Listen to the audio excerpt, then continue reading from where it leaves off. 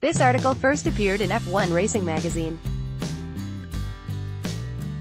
As Lando Norris and George Russell cast furtive eyes across the cricketers' lunch menu, for a fleeting moment it looks as if both will order fish finger sandwiches and chips.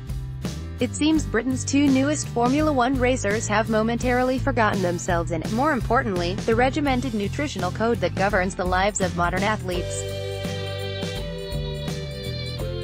A sense of airy professionalism eventually prevails and George dashes back outside to purchase the requisite lean meat sandwich and salad. Lando isn't far behind returning with his own salad and fruit salad combo.